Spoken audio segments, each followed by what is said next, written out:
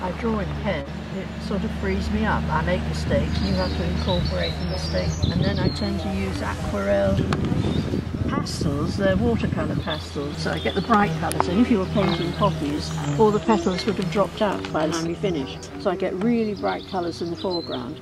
I splash on some watercolour pastel that you've used in the picture. But for, it, for me, um, it may not look it to you, but this is freeing me up. I got it too much. I've been here before, but a long, long time ago. It's changed. Smart.